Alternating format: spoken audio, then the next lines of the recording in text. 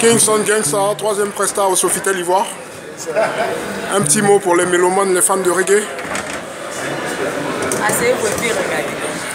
Seulement, oh, on, pensait que, on pensait que vous allez, nous, vous allez commencer à fredonner un air. En tout cas, merci encore. Et puis on va apprécier. Ok. Yes, I.